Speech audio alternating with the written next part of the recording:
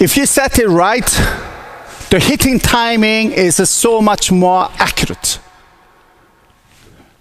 I am not asking you to teach this, what I'm going to show you.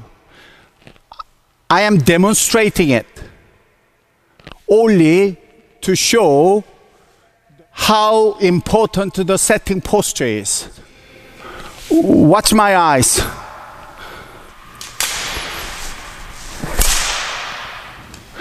I sat, I looked, I closed the eyes, and I hit.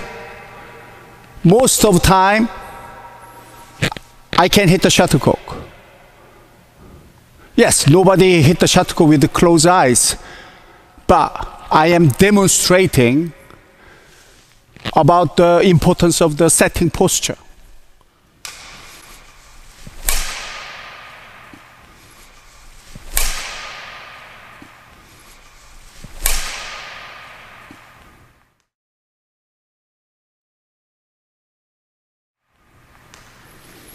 I can smash